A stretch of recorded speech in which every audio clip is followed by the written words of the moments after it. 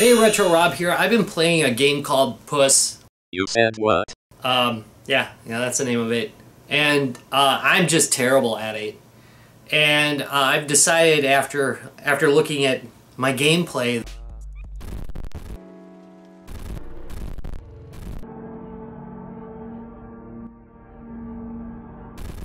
It's pretty obvious that the problem is my mouse pad. There's there's absolutely no lighting on it. Uh, it it doesn't look attractive. Uh, therefore, it's it's quite clearly causing problems with my gameplay. So I'm gonna go find a a mouse pad with some lighting on it and uh, see how much better I play. Retro Rob plays everything. Whoa, let me zoom out on that. Hello ladies and germs, today we are going to be unboxing a mouse pad. Yep, running out of crap. No, I'm just kidding. I got a lot of stuff, but this was kind of interesting, so I thought I'd show it to you. Uh, this is by a company called Castle, uh, which is kind of a weird name for a company making mouse pads. But anyway, this one has all of the cool features like blinky lights and such. Basically, my mouse pad actually developed a bald spot from use and became unusable. It is much better to work on the table, but you know, tables aren't the greatest gaming surface either. So, hopefully this will improve my game. Not likely. Anyway, let's start the unboxing right away. See what's inside here. I'm gonna guess there's a mouse pad. Just saying. All right. We have one manual describing how to uh, how to connect it. Ensure high precision of mouse motion tracking. Reduce friction between mouse and surface. Rubber anti-slip base. 7 color backlight. Well, we'll see how that works. Yes, we're going to test it. Next we have a little thank you letter. Well, let's read it. Dear patron, we truly hope this package found you in a timely manner. We dispatched your goods with our best page Egbert and gave him our swiftest horse. Our reports indicated there was a huge grumpy dragon whom was seen patrolling near the route to your village. Someone in the area had stolen a few pieces of gold from this particular dragon, and as you know, dragons simply detest even the smallest dispossessions of their hoards. Furthermore, when planning the route to your dwelling, we found a number of bridges known to be inhabited by utterly stubborn trolls. We fear for our dear friend Egbert and sincerely apologize if your package arrived singed by Dragonflame or battered by an errant troll's club.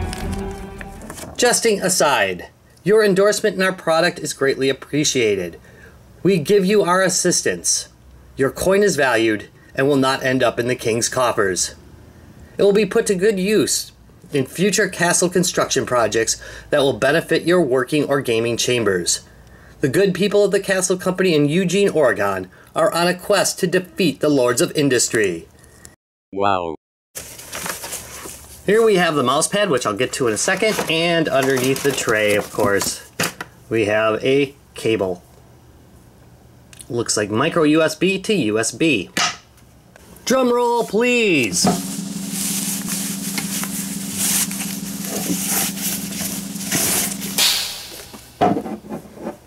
Wow. Alright, so here it is. It's a mouse pad. How much can I say about it? This is kind of interesting because it's got a full rubberized base on the bottom, which will keep it pretty decently on a table. Top surface looks pretty good. The cut's decent. I like this little castle down here. That looks nice. Also, we have an on-off switch and a way to switch the lighting, which means it has no software installed on your system, which you know, I gotta tell you, I get kind of annoyed uh, with every product having a whole bunch of crap to install, so it's kind of nice to see that I don't actually have to install some stinking software for this. I mean, really, installing software for a mouse pad. Alright, let's plug it in and take a look at it. The included cable is right around 5 foot 10 inches tall. Here's where the USB cord connects. Positive click. I like that. Pressing the on-off switch turns this on immediately. However, to turn it back off again, you need to press for about a second. You can switch modes by hitting the switch button. Right now it's on breathe mode. This is the chase mode. Red, green, blue, purple, or pink, hard to tell. What is that? Cyan, they call it cyan. Yellow, which is my wife's favorite color. This is kind of a bluish white. I like this one. And then we're back to breathing.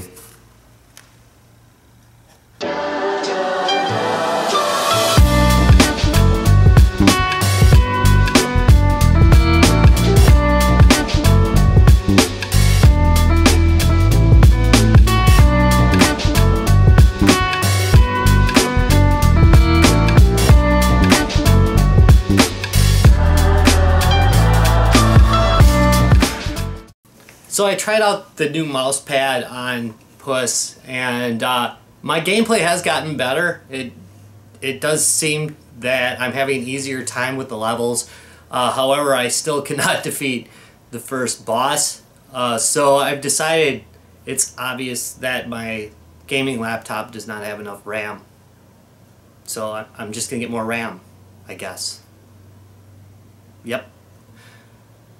Definitely the RAM.